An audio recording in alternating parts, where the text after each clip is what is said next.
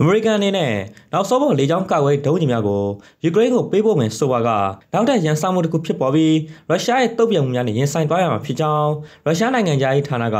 ကြာတာပလေးနေ့မှာတတိပေးခဲ့တာနဲ့ပတ်သက်ပြီး AB သတင်းတွေဖော်ပြထားပါတယ်။အမေရိကန်ဟာမြေပြင်မှာဝင်ရင်ပဲ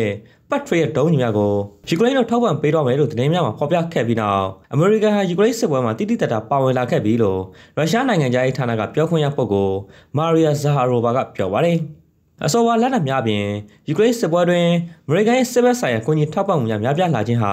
ရန်လုံမှုတစ်မျိုးဖြစ်ပြီးအကျိုးဆက်များရှိလာနိုင်ကြောင်းဇဟာရိုဘာကပြောပါတယ်။ထို့တော့ဘလိုမျိုးတုံ့ပြန်မှုအကျိုးဆက်ဖြစ်လာမယ်ဆိုတာကိုတော့ရှင်းလင်းခဲ့ခြင်းမရှိပါဘူး။ယူကရိန်းကိုပတ်ထရီရဲ့သုံးလက်နက်များအမှန်တကယ်ပေးဖို့တော့အတိပြုံးစောင့်ဆိုင်နေကြောင်းအမေရိကန်တာဝန်ရှိသူများကအင်္ဂါနေ့တွင်ပြောကြားခဲ့ပါတယ်။ ပုံမခင်မီတဲ့လက်နက်များထောက်ပံ့ပေးရန်ယူကရိန်းဘက်ကတောင်းဆိုမှုကိုဖြည့်ဆည်းခဲ့ခြင်းဖြစ်ပြီးမကြာခင်တွင်တရားဝင်ထုတ်ပြန်ကြေညာမယ်လို့ယူဆရပါတယ်။ဖတ်ထရီရဲ့ဒုံးလက်နက်များကိုစီမံရန်နဲ့ထိန်းသိမ်းရန်အတွက်တပ်ဖွဲ့ဝင်60ခန့်လိုအပ်ပါတယ်။ဒါကြောင့်ယူကရိန်းကိုအဆိုပါလက်နက်များထောက်ပံ့မယ်ဆိုပါကတပ်သားများကိုပါဆေလို့ရမှာဖြစ်တာကြောင့်အမေရိကန်ဘက်က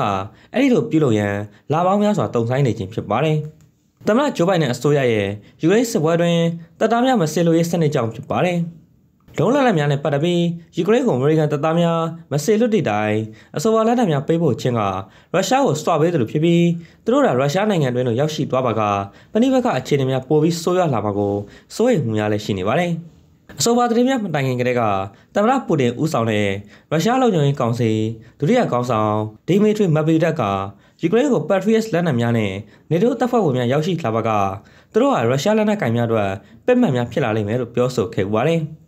ကာကွယ်ရေးဌာနဘက်ကပြောဆိုချင်းချောက်များပေါ်ရုရှားအစိုးရဘက်မှတဘောသူမှုရှိမရှိနဲ့ပတ်တပြီးသတင်းထောက်များရဲ့မေးမြန်းမှုကိုအစိုးရအဖွဲ့ပြောခွင့်ရပုဂ္ဂိုလ်ကတဘောသူကြောင်းပြန်လည်ဖြေကြားခဲ့တော့လဲအမေရိကန်ဘက်မှဒုံးလက်နက်များကိုအမှန်တကယ်မပုတ်မချင်းသူတို့ဘက်မှလည်းအဲ့ဒီကိစ္စနဲ့ပတ်သက်တဲ့ပြောဆိုမှတ်ချက်ပေးမှုများကိုရှောင်ရှားသွားမယ်လို့ဆိုပါတယ်။